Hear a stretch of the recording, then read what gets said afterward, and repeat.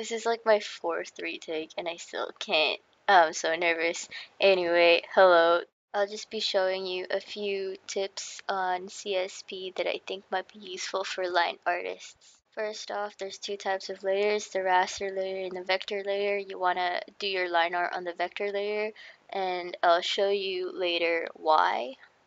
Alright, so I already have something sketched down. I'm just going to be speed uh, arting through this line art process because it's pretty shit. I'm not actually a line artist. I'm just a humble painter.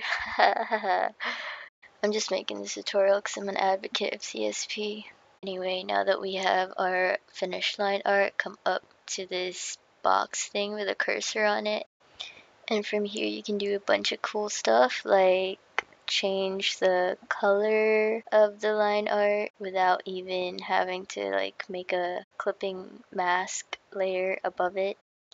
Another thing you can do is if you're like me and you like to draw thick lines but then decide later on that maybe you want smaller lines, you can change the width of the whole line art or you could change them individually like here. So instead of changing the whole thing or like you changed it and it's like too thin, you can edit it like so, make it thicker or thinner. And this is the beauty of the vector layer because you won't be able to do this with a raster layer. Another cool thing you can do is actually change the lines individually. You can see that there are control points and you could just move them around however you want. You could also redraw the thickness of the lines. Just play around. There's a bunch of things that you could do there. Another tip is if you want to transform one of the lines that you've drawn, like what I'm doing on the screen right now, is hold a hotkey. I am on a Mac, so I hold the command key. I don't know what it is for a PC, maybe the control, I don't know. Here's me switching before and after. The thicker one is obviously before.